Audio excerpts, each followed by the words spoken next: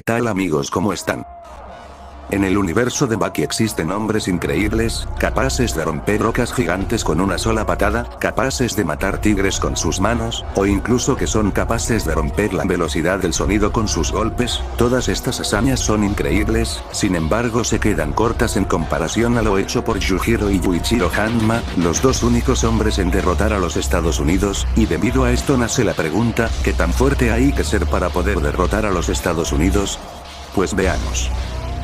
Como mencioné anteriormente Yujiro Hanma y Yuichiro Hanma son dos hombres que fueron capaces de vencer a los Estados Unidos, sin embargo no han sido los únicos que lo han hecho ya que a esta lista se suma al hombre más fuerte de los Estados Unidos Biscuit Oliva y al segundo más fuerte de la prisión de Arizona, Jun Guevara. Estos últimos dos fueron capaces de doblegar a Estados Unidos a sus pies, sin embargo hay que aclarar algo, y esto es el hecho de que Jun Guevara por sí mismo no es capaz de derrotar a los Estados Unidos.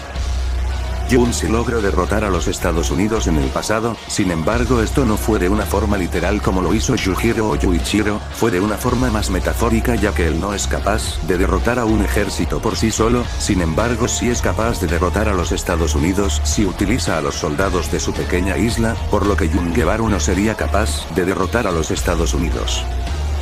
Esto nos deja el precedente de que hay que ser más fuerte que Jun Guevara para poder derrotar a los Estados Unidos, sin embargo que hay de Oliva, ¿acaso él sí puede derrotar a los Estados Unidos? Pues como sabemos Oliva es el hombre más fuerte de este país, además de que es usado como un arma de guerra en caso de que Estados Unidos esté en problemas, sin embargo si Oliva se decidiera revelar lo más posible es que sí sería capaz de derrotar a los Estados Unidos con pura fuerza bruta.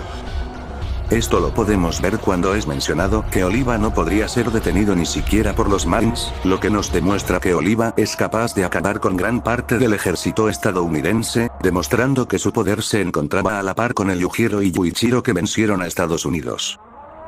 Por lo tanto la fuerza necesaria para derrotar a los Estados Unidos tendría que ser superior a la de Jun Guevara, pero un poco inferior a Biscuit Oliva, por lo que teóricamente personajes como Bucky, Jack, Sukune o Pete le podrían vencer a Estados Unidos, mientras que personajes como Dopo Orochi y Goki Shibukawa no podrían hacerlo.